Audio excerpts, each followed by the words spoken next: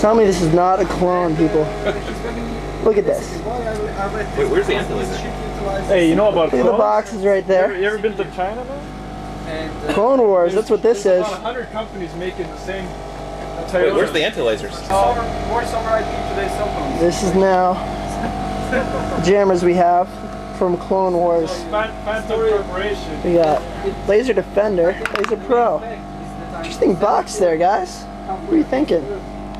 Here's the anti-laser quad, new one. Take that out and I'll show you.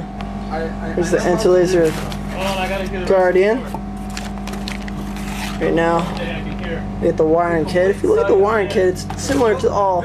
They all seem to come with these keychain levels. It's the new Guardian with uh, four heads, soon to be with other jammers. Here are the bale heads. Interesting size in the heads, aren't they the same here? And that's about it for now.